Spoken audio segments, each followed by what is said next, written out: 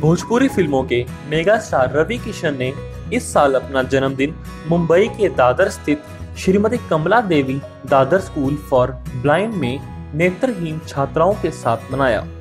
School की बच्चियाँ देख तो नहीं सकती थी, लेकिन उन्होंने रवि किशन को खुद के सामने पाकर उन्हें जन्मदिन की बधाई दी।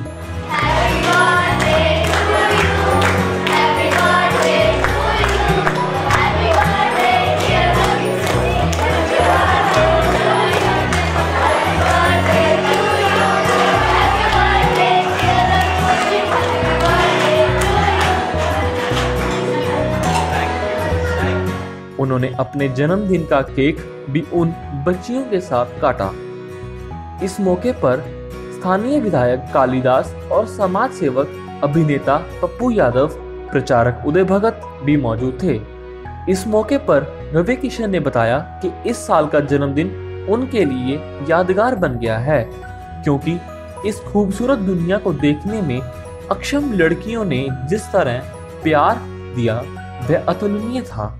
यादगार रहेगा ये जन्मदिन क्योंकि ये जहाँ पर लोग देखते नहीं जहाँ पर लोगों को मैं यही सोच रहा था कि मैं 180 बेटियाँ हैं यहाँ पर बच्चियाँ हैं जो देख देख नहीं पाती नेत्रहीन तो अ, कैसे होगा अगर आप आपकी आँखें नहीं होगी?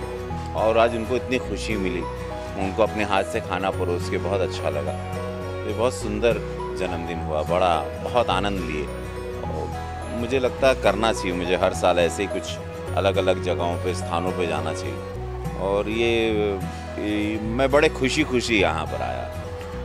शाम को पार्टी अभी तक कुछ अरेंज ही नहीं किया। मैं चूँकि यहाँ आने में दादर है समय बहुत लगता है पहुँचने में लेकिन हम अब करेंगे सब बाकी अरेंज ये सारे टैलेंटेड सी इन पे जब इनकी आँखें बंद होती हैं तो इनके इनके सारे सारे जितने वेन्स ऑफ़ ब्रेन्स हैं, सारे जितनी इंद्रियाँ हैं, वो सारी खुल जाती हैं और आप शक्तिशाली हो जाते हो। तो ऐसे बच्चे बहुत शक्तिशाली है। सोचिए ये लोग कंप्यूटर ऑपरेट करते हैं।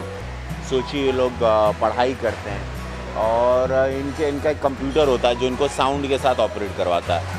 सो, बहुत बहुत बहुत बहुत अच्छा है, बहुत अच्छा है।